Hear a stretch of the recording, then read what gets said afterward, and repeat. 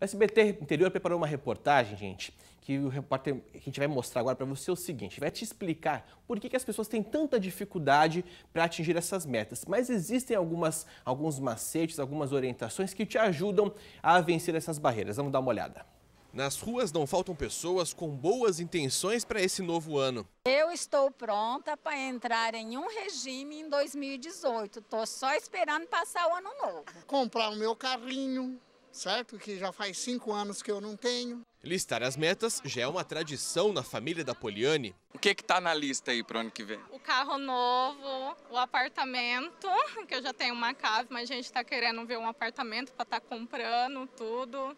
Ela está desejando fazer balé, então já está tudo incluído na lista. O problema é que tem muita gente por aí que se perde e deixa as promessas caírem no esquecimento. Mas por que isso acontece? De acordo com esta especialista em desenvolvimento pessoal, o grande desafio é mudar comportamentos e sentimentos que já estão enraizados na nossa maneira de ser. A gente tem que tomar muito cuidado com quem a gente cresce, com quem a gente convive. E os pais, muito cuidado no que falam para os seus filhos. Então, um exemplo de crença limitante comum.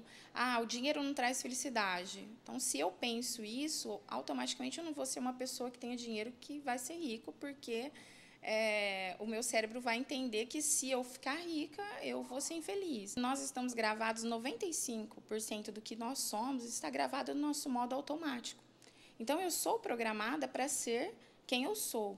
Né? Então, para eu ser quem eu quiser, eu tenho que me reprogramar. Não importa as suas metas de ano novo, todas dependem fundamentalmente de um único fator: você. A gente treina também para ser uma boa profissional, a gente treina para ter habilidade em matemática, a gente treina é, para ser feliz. O nosso cérebro entende muito isso, entende muito imagem também. Então, colocar no papel o que você quer, a sua meta, mas onde você está e o que falta para atingir essa meta. E colocar o caminho para a meta. Ah, então, o caminho para a meta é muito importante. Então, um exemplo, a vida saudável. O que, que eu preciso para ter uma vida saudável? O que é uma vida saudável? O que, que, tá, o que, que eu estou fora? São metas curtas. Ao invés de eu pensar lá na minha meta a longo prazo, eu vou para a minha meta semanal, às vezes a minha meta diária. O quanto eu quero chegar a atingir no final do meu dia? Quanto eu quero atingir no final dessa semana? Então, quanto eu vou juntar de dinheiro esse mês?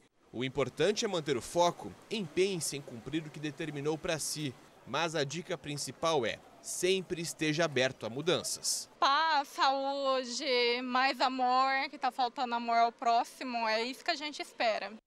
E esse é, esse é o combustível, né, para que a gente consiga aí levar uma vida mais saudável, uma vida diferente e consiga cumprir as promessas.